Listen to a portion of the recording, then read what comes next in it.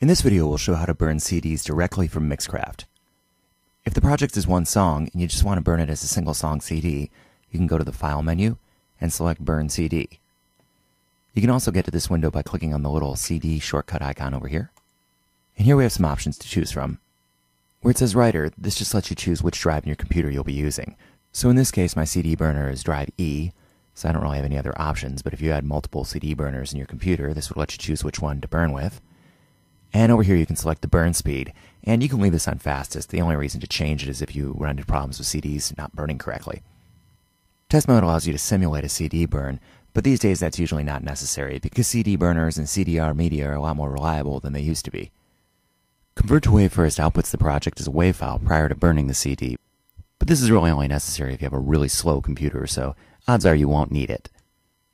Create CD text lets you name your CD, so when you put it in a computer, it'll show up with a title at the bottom of it, and also some CD players will display the name as well.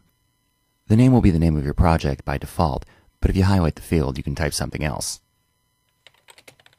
Burn as one track is only really relevant if you've got multiple markers in a project, so in this case it won't matter, but we'll talk more about this later on. Down here you have one more option where it says All and Current Selection.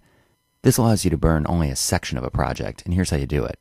If I hit Cancel and I highlight a region, you can now burn just the highlighted region, and when I go back into here, you can see that now I'm able to select this. But if you want to burn the entire project, just hit All and hit Start Burn. And then you'll press Continue, and that burns the CD. Mixcraft also lets you burn a CD with multiple tracks, and here I've created a project that has three separate songs in it. The beginning of each track is set by using markers, so we're going to place markers at the beginning of each one. By default, there's already a marker at the top of the song called Start. You can see that right here. And since the name of the marker is going to be the name of the track, I've moved the caret over so you can see the start marker a little better. And I'm going to click on the marker flag to rename the marker.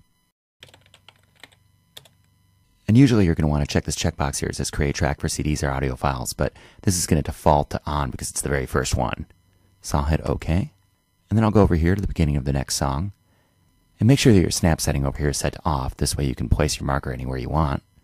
And I'm going to zoom in a little bit.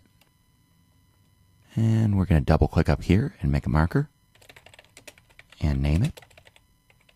And then over here we'll check the create track for CDs or audio files box. And then I'll hit OK. And then I'll go over to the beginning of the third song and create another marker by double clicking up here. And check the create track for CDs or audio files box. And I'm going to zoom back out. Okay, so here are my three songs. And then I'll click the burn audio CD shortcut up here. And now Mixcraft will ask if I want to save the changes to the project. And I'll say yes.